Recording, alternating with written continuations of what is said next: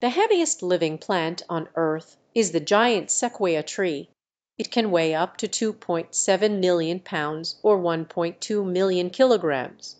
The heaviest living animal on earth is the Blue Whale; it can weigh up to 200 tons or 181 metric tons.